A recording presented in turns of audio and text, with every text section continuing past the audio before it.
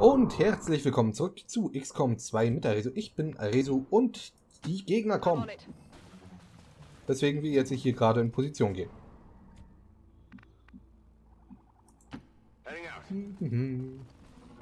Wir haben eine Viole geschnappt. Und die sind sauer. Ähm okay, Hightower. Du legst Wende da gleich mal hin und kämpfst dann wieder brav mit. Ich würde gerne auswählen können, wo ich die Person hinlege. Weil das da ist nicht wirklich der schönste Punkt. Ja, okay, das wäre auch der Punkt, den ich ausgewählt hätte.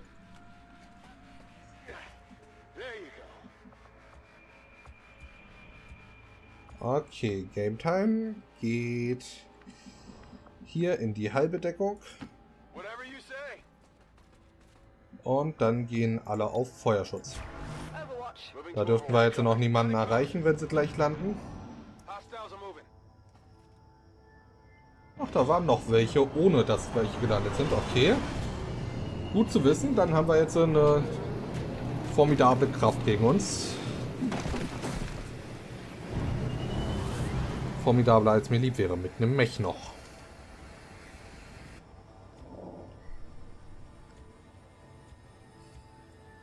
Okay, die werden ja im Gegensatz zu mir nicht hier einfach durch die Wand schießen, ne?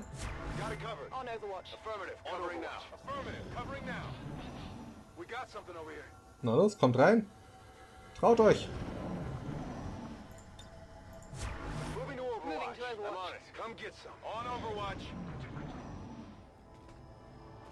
Na los, wo bleibt ihr denn?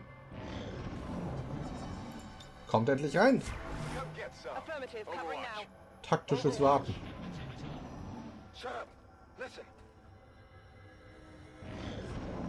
Also ich werde sicher nicht den ersten Schritt machen. Ihr müsst schon herkommen. Ihr wollt diese Fabrik benutzen, nicht ich. Ich will sie nur verlassen.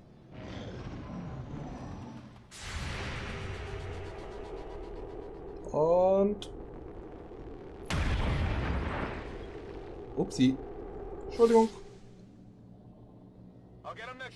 Tut mir leid um eure Kaution.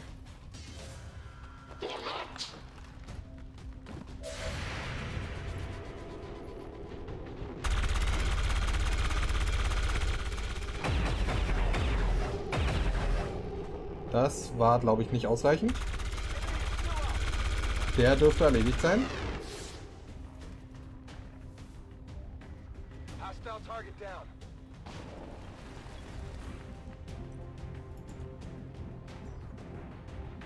Okay, wir schicken Devil Dog hier hin und hoffen, dass wir da den Mech treffen können.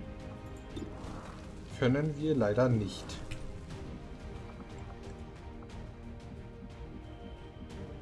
Ähm...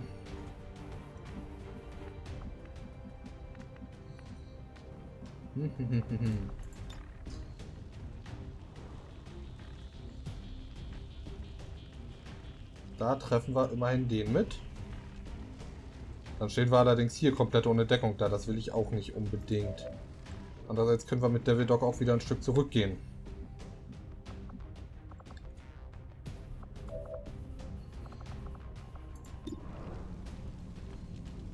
Ähm... Übernahmeprotokoll.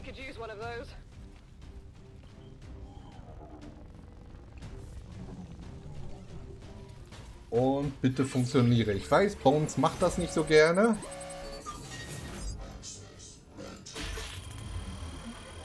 Okay, ah, hätten wir sogar übernehmen können. Gut, alles in Ordnung.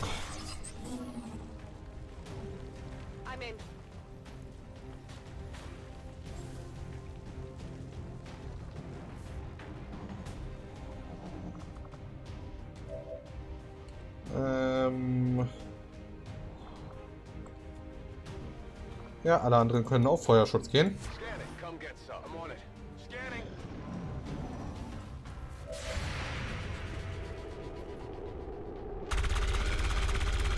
Daneben, das ist nicht so gut. Nochmal daneben, ist auch nicht so gut. Okay. Ein Streifschuss, immerhin. Und erledigt. Sehr schön.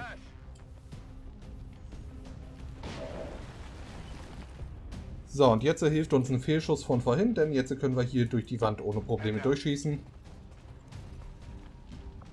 Können wir offenbar doch nicht. Warum können wir das nicht?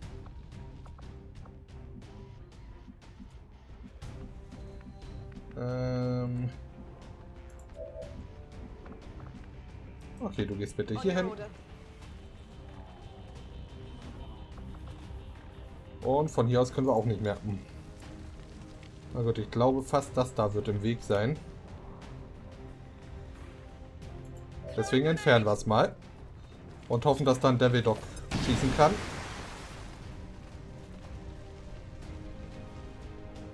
Ich glaube, ich habe gerade Devil Dogs Deckung kaputt gemacht. Toll.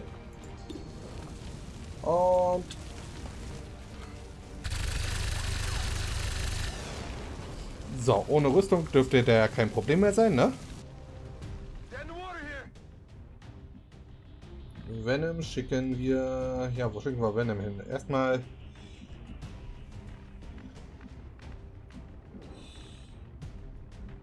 Okay, wir schicken Venom hier hin.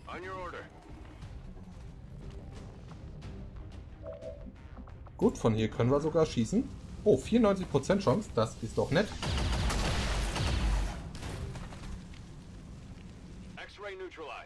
Sehr gut.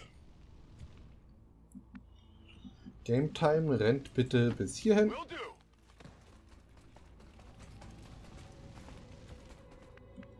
Hightower rennt bitte bis hierhin. Bin mir fast sicher, dass da noch Leute sind. Okay, da kommen auf jeden Fall mehr Leute.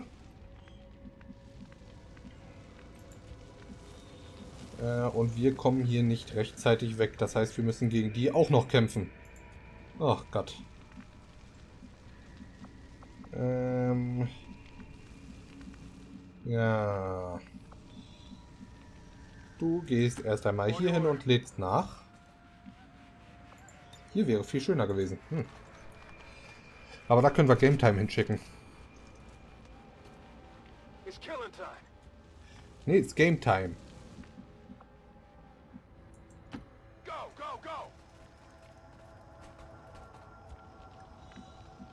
Bones schicken wir hier hin.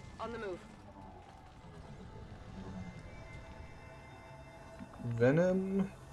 Ich denke, wir können hier durchschießen.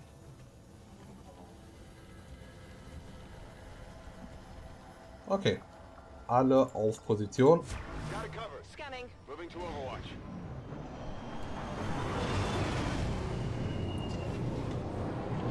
Es ist auch durchaus möglich, dass über uns noch ein Geschütz lauert.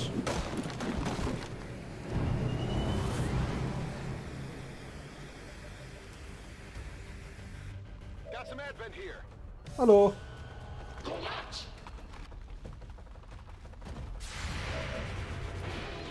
Und... Daneben, nicht so schön. Gut, wir können hier durchschießen. Nicht genug Schaden gemacht.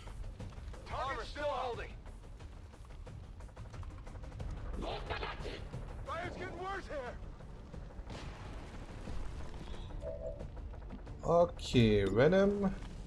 Moment, Venom steht in einer guten Position, um den dazu... Doch nicht. Ähm... Game Time. Wen kannst du denn erledigen? 59%, 33%. Versuchen wir es mit der 59, ne?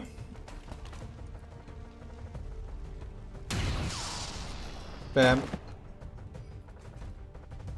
Eins Rüstung bringt doch nichts. Und schon vermisse ich äh, Tod von oben, weil jetzt könnten wir gerade Nachladen gebrauchen.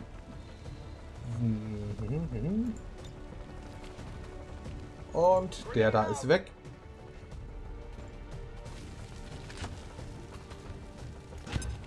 Flop. Oh, der ist doch nicht weg. Oh, verdammt. Okay, aber er steht ohne Deckung da, dann ist er mit Tor wahrscheinlich... Nur 69. Ach Gott. Okay, reicht. Und sogar der Crit.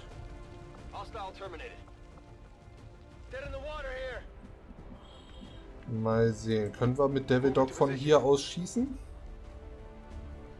Nein, können wir nicht. Äh, dann können wir mit Bones von dort aus auch nicht schießen, da bin ich mir ziemlich sicher. Allerdings können wir von hier aus eventuell schießen. Das Fenster hat ja zwei Seiten. Oh, sogar flankiert. Sehr gut. Ah, nur gestreift. Okay.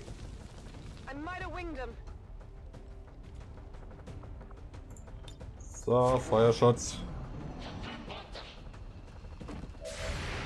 Und die mögen es nicht, flankiert zu sein. Daneben, aber wir haben das Holozieren aktiviert. Schön. Oh, nicht gut, nicht gut, nicht gut. Au. Au.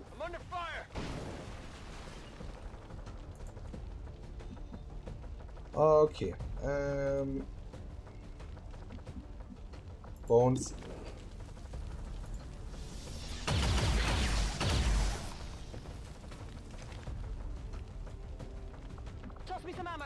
Venom, leg mal bitte nach. Hm. Könnte ausreichen. Moment, wir wissen allerdings nicht, ob wir eventuell nochmal gegen weitere kämpfen müssen. Deswegen machen wir das lieber so.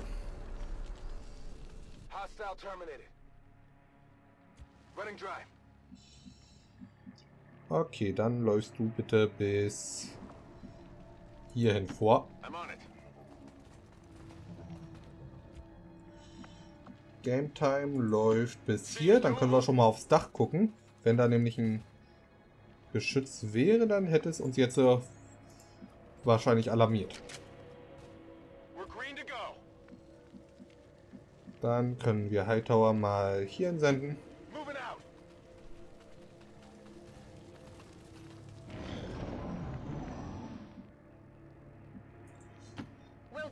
Und alle schön langsam nach vorne. Wie gesagt, ich denke eigentlich, dass hier noch irgendwo ein kleiner Trupp rumläuft.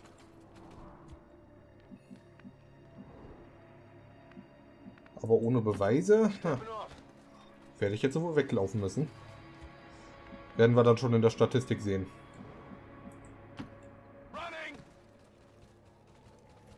Ups. Hightower, geh doch bitte noch mal ein Stück zurück. Ich habe Wände vergessen.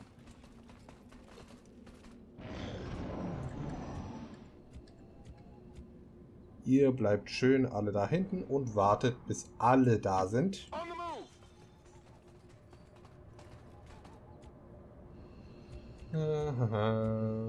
Also ja, äh, hier Feuerschutz, bitte.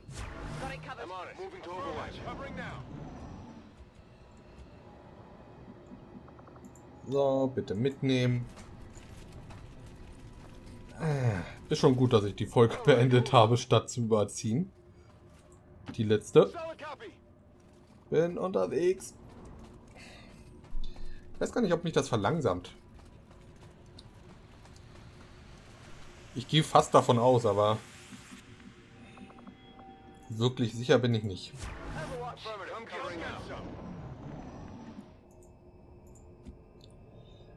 Ja, okay, dadurch, dass er hier... Da, ah, trägt eine Einheit. Einem Soldaten, der einen gefangenen Ka äh, Kameraden trägt, sind mit Ausnahme von Fortbewegung keine anderen Aktionen mehr möglich. Okay, Moment mal. Wir lassen mal äh, runterfallen und ein zwei Felder von dem Baum entfernt. Ja. Ganz ruhig. So. Und... Okay, man äh, schränkt die eigene Bewegung damit nicht ein. Und es kostet doch eine Aktion. Ich dachte bis eben, dass es keine Aktion kostet. Okay. Oh.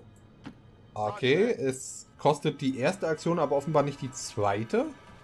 Das ist merkwürdig. Oder nur das Ablegen kostet eine Aktion, aber nicht das Aufheben. Das ist natürlich auch möglich. Und Feuerschutz alle, nur für den Fall der Fälle. So, dann rennt los.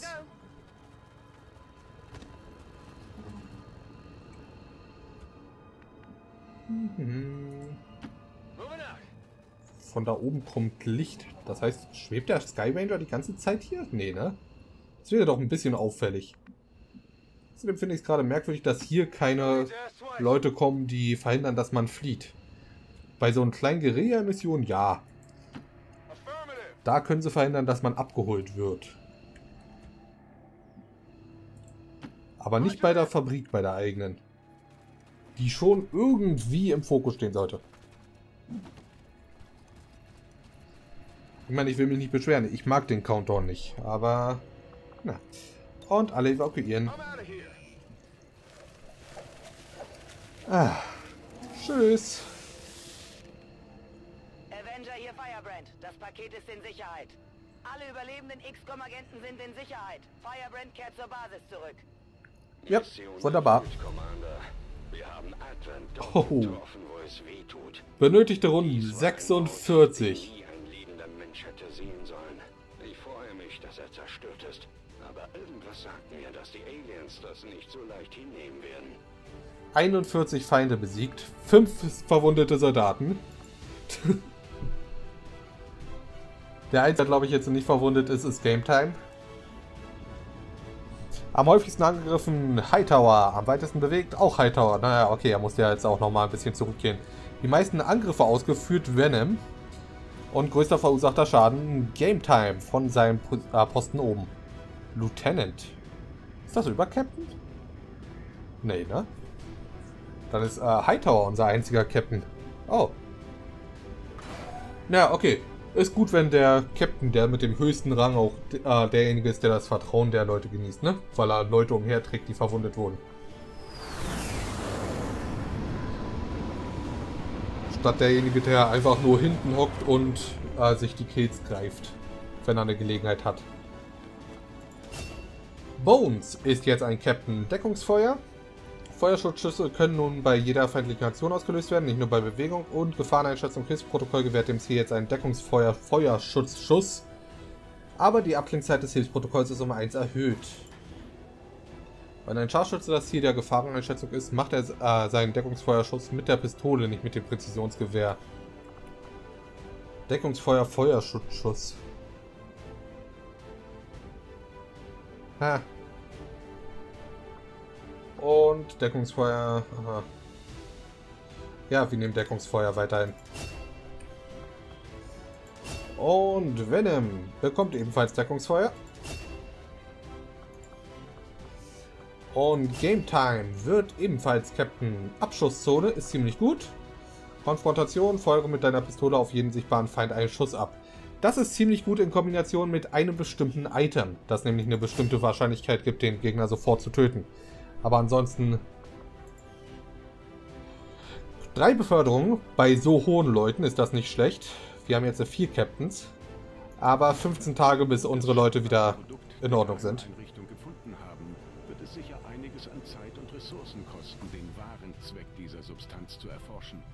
Ich beginne sofort mit den Vorbereitungen für eine gründliche Analyse, Commander. Gut. Viole aus Geheimeinrichtung 1, Zielfernrohr 1. In dieser aus einer Advent-Geheimeinrichtung geborgenen Viole steckt das Endergebnis eines aufwendigen und grausigen Alien-Prozesses. Woher wollt ihr denn das wissen? Ihr habt doch gar keine Ahnung, wie der Prozess funktioniert. Vielleicht ist er gar nicht aufwendig und grausig. Im Gegensatz zu den gewöhnlichen Verschlüsselungsmethoden, auf die wir bei irdischen Datenspeichern treffen, scheinen die Aliens eine fortschrittliche Matrix aus mechanischen und biologischen Verschlüsselungsverfahren in Kombination mit zionischen Interferenzen zu verwenden. Die Vorstellung, die komplexesten Pläne der Aliens aufzudecken, ist gleichermaßen faszinierend wie furchteinflößend. Fre Forschung freigeschaltet, Alien-Verschlüsselung. Die Abläufe innerhalb der Geheimeinrichtung scheinen noch besorgniserregender zu sein, als ich zunächst befürchtet hatte. Die Aliens haben zweifelsohne etwas Schreckliches begonnen. Ich überlasse die Untersuchung Ihnen, Commander. Geborgene Geheimeinrichtungsviole, Avatar-Fortschritt um 1 reduziert. Ihre Arbeit bei der Infiltration der Geheimeinrichtung der Aliens in Ostafrika hat uns Verständ äh, dem Verständnis der wahren Beweggründe der Aliens noch näher gebracht. 125 Vorräte. Unsere Schlagkraft schwindet, Commander. Wir sollten im Hauptquartier des Widerstands neue Rekruten suchen. Die Aliens nutzen eine Verschlüsselung, die wir Ist noch nie dran. gesehen haben, geschweige denn verstehen. Wir müssen den Code irgendwie knacken. Aber das wird wohl eine Weile dauern. Wissen Sie, ohne Ihren Vater wäre So. ich wohl nicht mehr am Leben. Er hat echte Wunder vollbracht. Ja, die Avenger zu reparieren war ein Wunder. Ich weiß immer noch nicht, wie er ihr System entschlüsselt hat, aber ohne ihn stünden wir noch ganz am Anfang. Er hat sein Leben gegeben, um das Schiff zum Fliegen zu bringen, auch wenn er es selbst nicht mehr sehen konnte. Wir schulden Ihnen beiden großen Dank. Wir können uns bei ihm bedanken, indem wir alle Aliens vernichten, die wir finden. Ein guter Vorschlag. Was kann ich für Sie tun, Commander? Commander? Unsere Energiesysteme So, die sind alle Wir haben beschäftigt. keine freien Kapazitäten mehr. Das heißt, wir ziehen mal ein paar Leute vom... So. Hoppala. Ähm... da, da, da. Jetzt sehen wir erstmal den Avatar-Fortschritt, der ein bisschen zurückgeht. Yay. Mit der Zerstörung der Geheimeinrichtung haben Sie den Aliens einen schweren Schlag versetzt, Commander. Sehr schön. Aber wir dürfen trotzdem keine Zeit verlieren. So, äh, ja, es geht weiter. Commander, ich finde es gut, dass Sie neues Personal fürs Ingenieurteam rekrutieren. Aber zurzeit sind noch immer nicht alle Ingenieure zugewiesen. Ich arbeite doch dran, Mensch. bei Bauvorhaben und beim Freiräumen helfen. Oder eine Einrichtung besetzen. Okay, ähm, Kontakt zu Osteuropa herstellen wäre nicht schlecht. Und zu Westafrika auch nicht. Äh, hahaha. Hm. Was machen wir zuerst? Ich würde sagen Osteuropa. 60 Info. Commander, wir schöpfen unsere Kommunikationskapazitäten voll aus und können keine neuen Kontakte mehr herstellen, ehe wir unsere Systeme nicht verbessern. Ich arbeite dran. Versuche, Mensch. lokalen, regionalen Kontakt aufzubauen. Oh, juhu, ein kleiner Fortschritt beim Avatar-Projekt. Ähm, Fortschritt der Aliens bei diesem Avatar-Projekt... Ja, auch daran arbeite ich. Sollten wir eine ihrer Einrichtungen angreifen. Ich arbeite hektisch daran.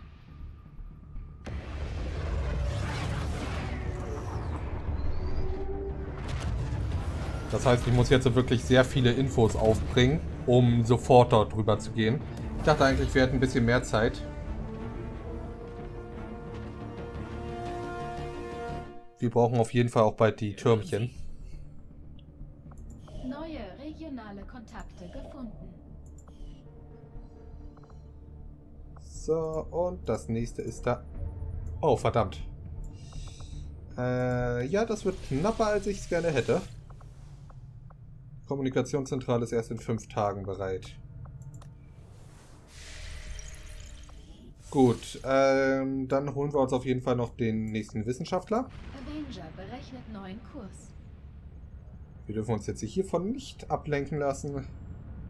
Immer weiter auf Kurs bleiben. Maschinen weiter äh, freigeräumt, sehr schön. Maximaler Energieverbrauch erreicht. Äh, dann können wir zwei Leute ja hier hinschicken. Sehr schön. Und eine Person kann hier mithelfen. So, sehr schön. Und... So, weiter Wissenschaftler sammeln. Wir haben ein Notsignal empfangen, das hier in der Nähe gesendet wird, um sofort einen Trupp zur Unter äh, und sofort einen Trupp zur Untersuchung losgeschickt. Sie konnten einige Überlebende finden, von denen einer wissenschaftliches Talent zeigt und sich gerne dem Forschungsteam von XCOM anschließen würde. Dr. Mary McCarthy. Forschungsdauer um 20% reduziert. Das klingt ein bisschen wenig, ne? Äh, da, Informationen können wir gerade sehr gut gebrauchen.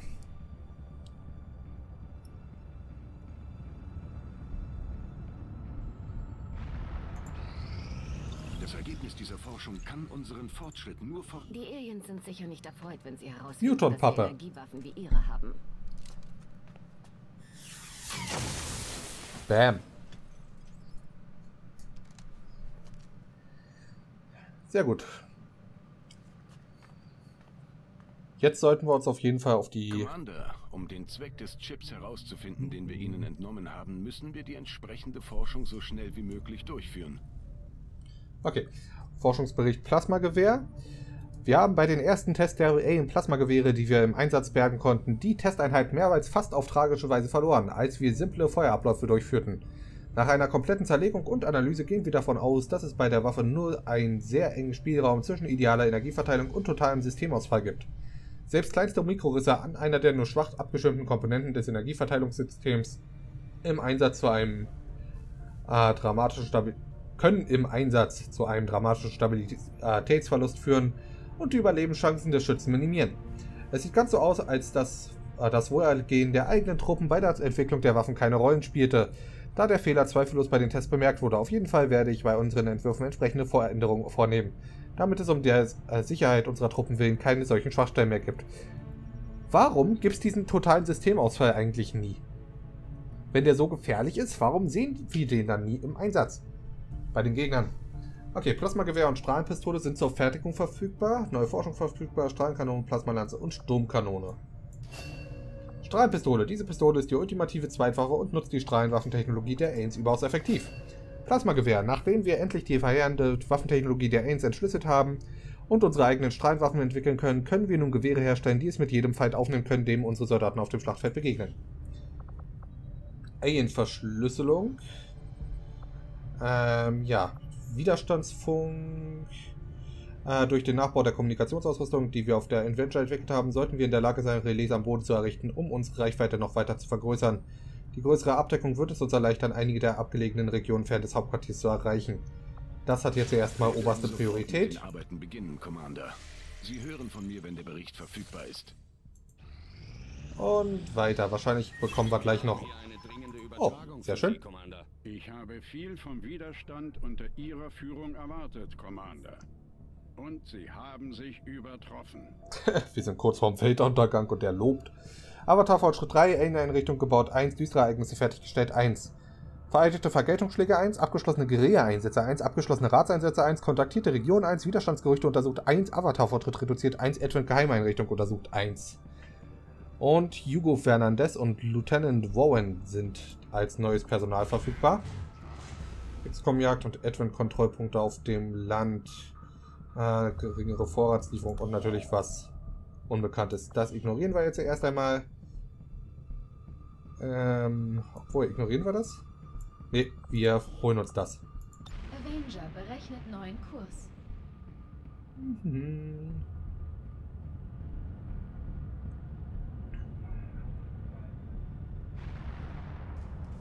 Muss mal kurz nachgucken. Ähm, da. Ich vergesse manchmal, wie das äh, UI funktioniert. Fünf verwundete Leute. Mal sehen, wie lange noch? Äh, Devil Dog sieben Tage. Hightower leider auch. Ach Gott. Die will ich jetzt wirklich nicht missen. Das heißt, die sieben Tage würde ich am liebsten warten.